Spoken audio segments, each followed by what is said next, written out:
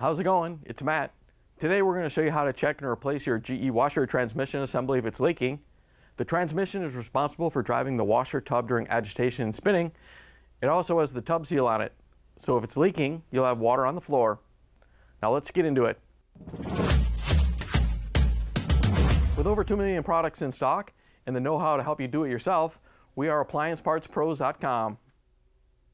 For this repair, we're going to need a towel and adjustable pliers, a small flathead screwdriver, a large flathead screwdriver, a 3 ace, a 7 16 half inch, and 9 16 inch socket with a ratchet and an extension, an impact driver with a 90 foot-pound torque limiting extension, a 1 and 5 16 inch GE socket, a putty knife, a block of wood, a hammer, a needle nose pliers, and a spray bottle with water in it.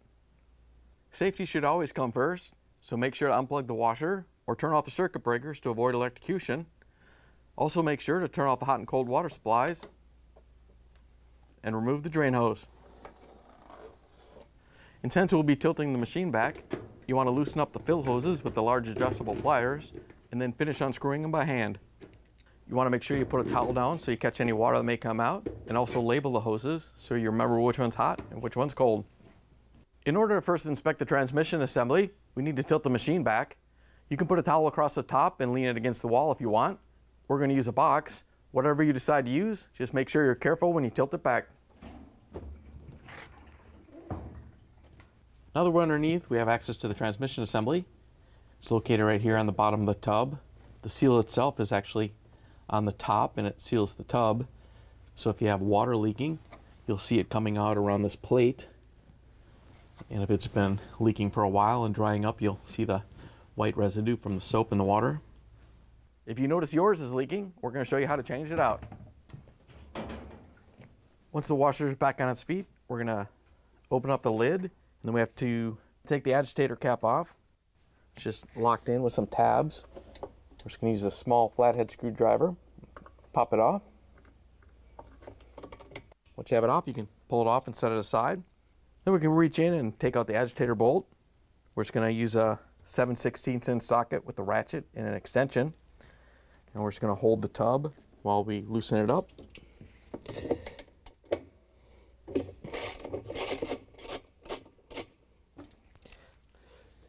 Once you have it free, you can pull it out.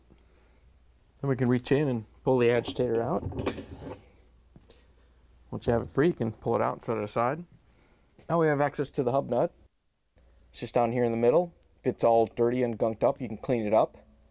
You can put some penetrating oil around it to help break it free.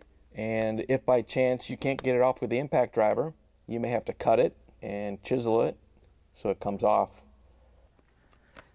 The hub nut's on there pretty tight, so we're going to use the impact driver with the 1 and 5 16 inch socket and the 90 foot pound torque limiting extension. You want to make sure if you're taking the hub nut on or off that you use this limiter, otherwise you may damage the transmission and the threads on the hub nut. You want to remember also that the hub nut is a reverse thread, so we're going to go clockwise to take it off.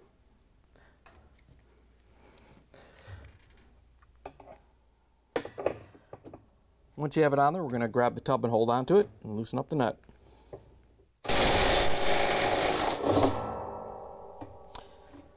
Once you have it broke free, you can reach in and pull it out. Once you have the hub nut out, we have to take the washer out. It's kind of behind these spacers, so it's hard to get to. So we're going to use a small flathead screwdriver to kind of get one side up. Use the corner of the putty knife to lift up the other side and lift it up.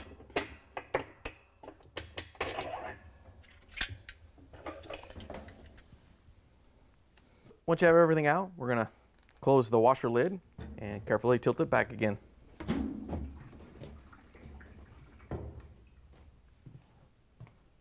Once you have the washer tilted back again, we have to take everything off the transmission because the new one doesn't come with it. First, we're going to take the cover off. We're just going to use a 3 inch socket with a ratchet and an extension to take the bolts off that hold the cover on.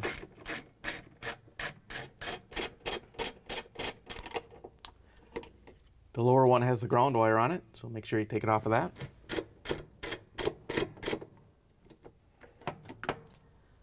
Once you have the bolts out, you can pull the cover off and set it aside. Then we can take the belt off. We just have to pull down on it while we turn it and pull it off the pulleys. Just make sure you don't catch your finger in between the belt and the pulleys. Once you have the belt off, we're going to take off this pulley on the transmission. We're going to use the 9 16 inch socket with a ratchet and extension to take it off.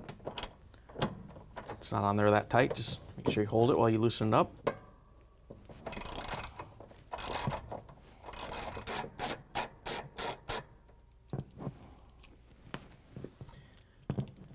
Once you have the nut off, the pulley's a little tight on the shaft, so we're just going to grab on it and wiggle it, pull it down.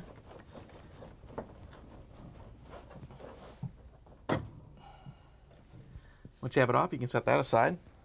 Then we're going to take the shift actuator off. First, we're going to unplug it from the wiring harness. Just want to press on the locking tab and pull it off. Then we're going to use the 3 8 socket again with the ratchet and the extension to take off the bolts. Hold it up there while you're taking the last bolt out so it doesn't fall.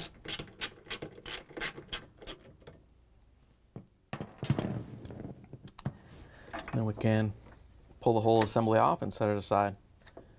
Make sure you don't lose the spring or the spacer.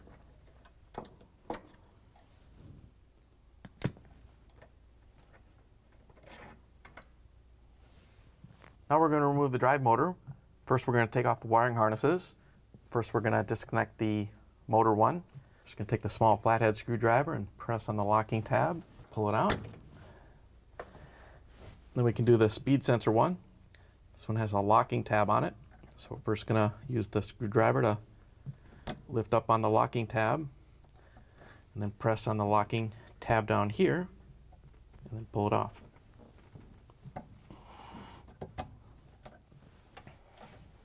Once you have those free, we're going to grab the ratchet with the extension and a half inch socket.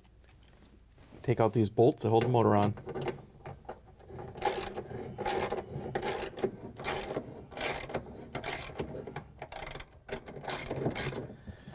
Once you start to loosen up the second one, you want to hold the motor up while you take it out.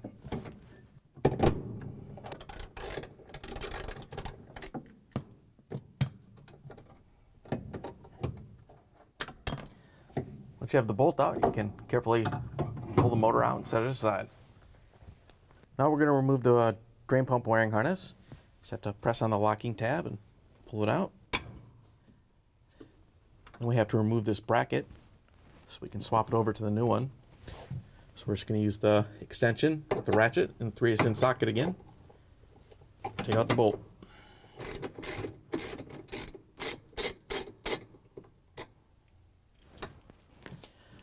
Once you have the bolt out, there's just a couple locking tabs. Just need to pull down on a little bit, pull it out, and just let it sit. Now we're going to take the drain pump off because we have to take this wire harness connector off once the transmission is dropped. So we're going to drop the drain pump out. We're going to put a towel down to catch any water that may come out and to protect the floor from when the transmission comes out and when we drop it later. We're going to use the ratchet with the extension in a 3 inch socket again and take out the bolts to hold the pump on.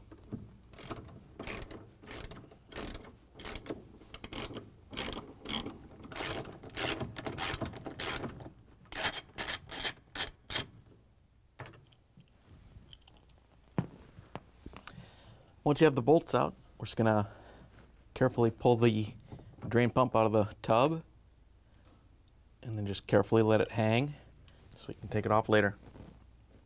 Next, we're to take out the eight bolts that hold the transmission to the bottom of the tub. We're to use the same 3 inch socket with the ratchet and the extension again.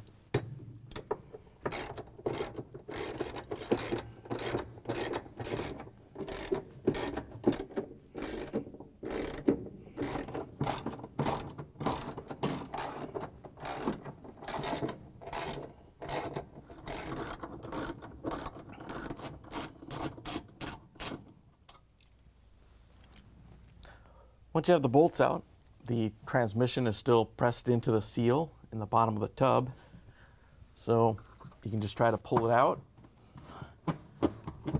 If it's stuck and you can't pull it out easily, then we'll have to put the washer back up on its feet and pound it out from the top. Then we're going to open up the washer lid and we're going to use a 2x4 and a hammer to just pound on the transmission shaft here and knock it out.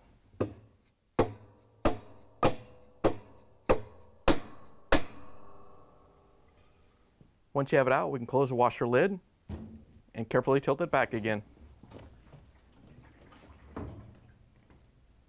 Once you have the assembly out, we're going to take off the washer and set it aside. We have to reuse that. And then we're going to use the needle nose pliers to release all the wiring harness holders. Just want to press them together and pull them down.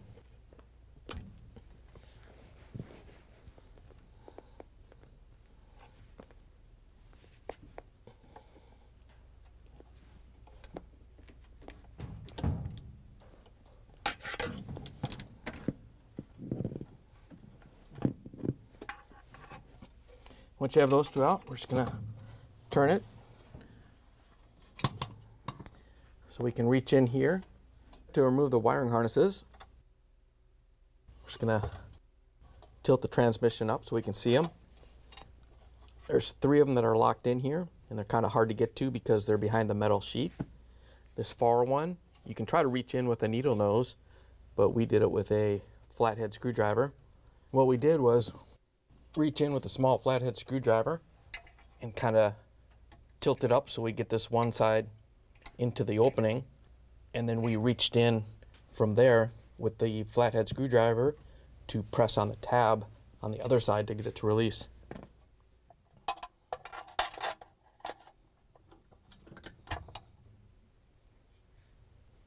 The front one here, we're just gonna push towards the side and get the tab to come out. Reach underneath and press on the other side with our finger. Pull it out. And same thing on this side. We're just going to use the screwdriver and get the tab up there.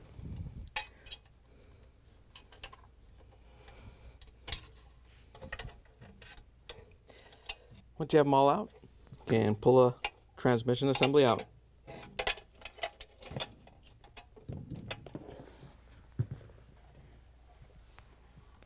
Here's the old transmission assembly and lower spacer next to the new one. The new one comes with the washer already installed and they give you this kit that has one in it so you're going to have an extra one that you don't use. It also comes with the hub nut washer, the hub nut, these two nuts, which our model only uses one, but yours may use both, and the agitator bolt.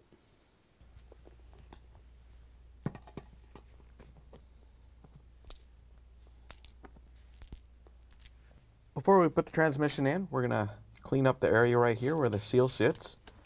Just get it wet, clean it up. Then we're gonna spray it down to make sure the seal slides in easy. And then you wanna look at the inner tub right here and make sure that it's lined up as much as you can get it with the hole because we have to make sure that the shaft goes up in it first and then kind of slide it up so the seal goes into its seat.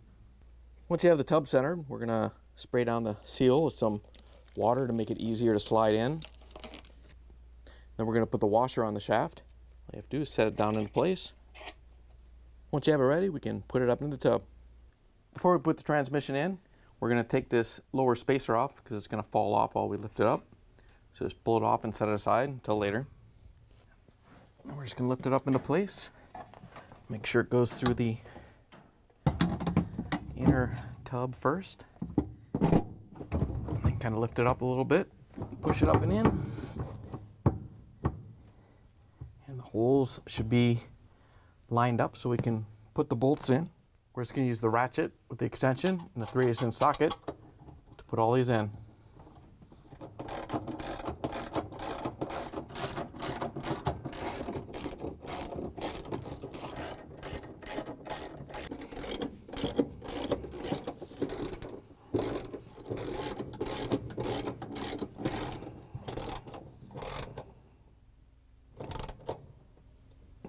Once you have the bolts in, we can take the towel out. Now we can put the wiring harness back on. Just have to push the clips into the holes.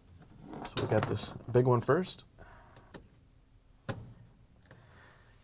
And then we have these three right here for the other three.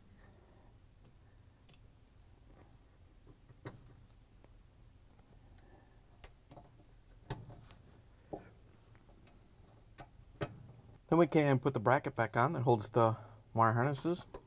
Just going to hook it into the transmission. And then we're going to use the 3 8 inch socket with the ratchet and the extension again to put the bolt in.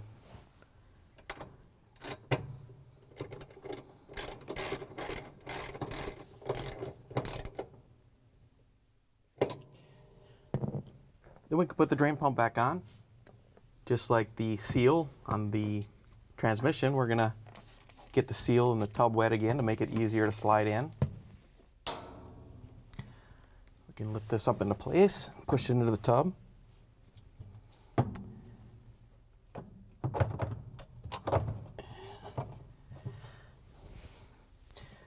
Once you have it in place, it should stay there for a minute while you grab the 3 8 inch socket with the ratchet and the extension again, put in the bolts.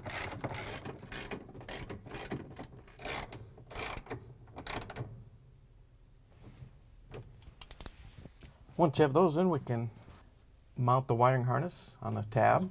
Just push it in and lock it in. We can plug the wire harness into the harness on the bracket. Just make sure it clips in and gets a good connection.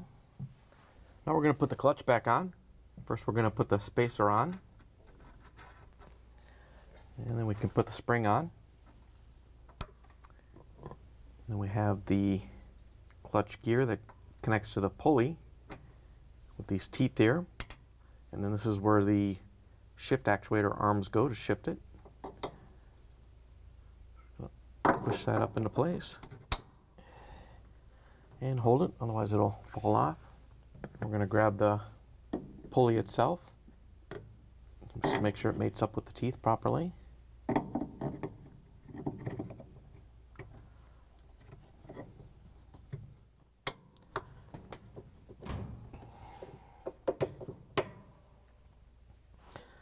Have it on there, we're going to put the nut on there and get it started by hand.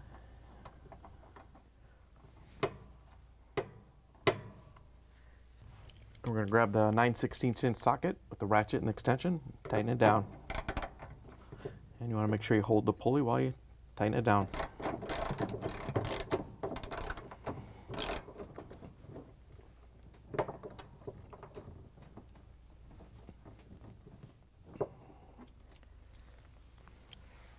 Once you have that on, we can put the shift actuator on. Just have to line it up with the two bolt holes and the pin locating holes right there. And you want to make sure that these arms go right on that white plastic groove on the gear.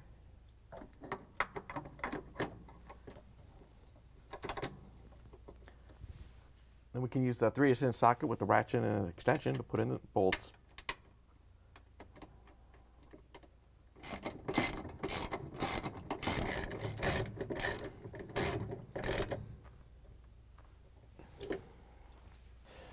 Once you have it mounted, we can plug it in.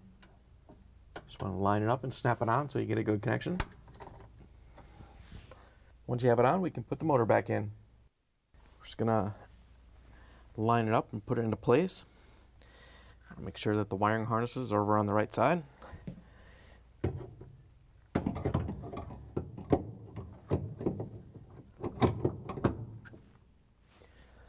Once you have it lined up, and get the upper bolt started. Then we can use the half inch socket with the ratchet and the extension to tighten it down.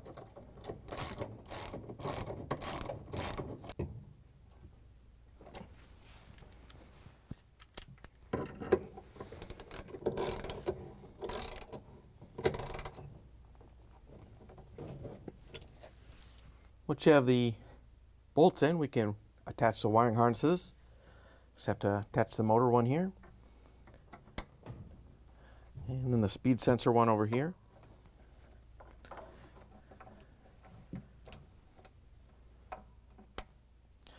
And make sure you lock the speed sensor one. Just push the red tab in. Now we can put the belt on. We're just going to put it around the transmission pulley first, and then around the motor pulley, and then turn it to get it to stretch over the pulley. Make sure you don't get your finger caught in there. And you want to make sure that it's lined up on the pulley properly and that doesn't fall off. So give it a couple turns.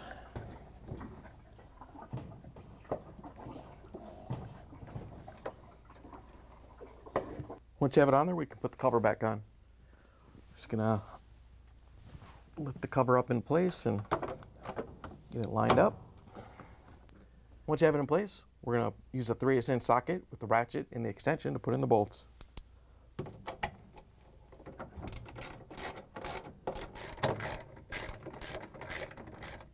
And on the bottom one, you want to make sure it goes through the ground wire.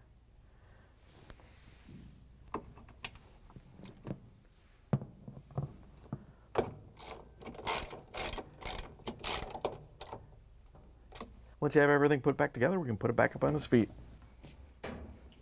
Once you have it on its feet, we can lift the lid up and we have to put the washer and the hub nut in. When you put the washer in, you want to make sure that the convex side is up it has a green dot on it, but if it doesn't, you want to make sure that the convex side is up. Then we can put the hub nut on. Just want to remember it's reverse thread, so you're going to go counterclockwise to tighten it down. Once you have it in place, we can grab the impact driver with the 90 foot-pound torque limiting extension and the 1 and 5 16 inch socket to tighten it down. Remember, it's reverse thread. And you want to hold on to the tub as you tighten it down.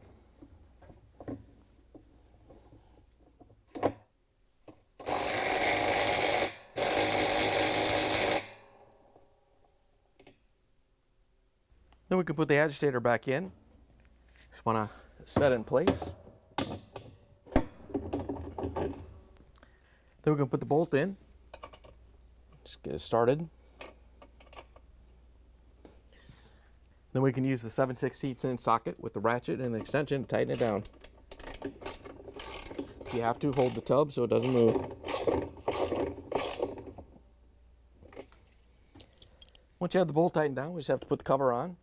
Want to line up the four locking tabs and snap it into place. Then we can close the washer lid, plug it back in, put the fill hoses back on. You want to start them by hand and then tighten them up with some pliers. Put the drain hose back into the wall. Turn the water on and take it for a spin. Hopefully that took care of your leak. Remember, if you need a new transmission assembly, you can take your model number and get one at appliancepartspros.com. Most orders will get to your door in just a few days. Before you go, remember to hit the like and subscribe buttons to see more of our appliance repair videos. Thanks for watching, and we'll see you next time.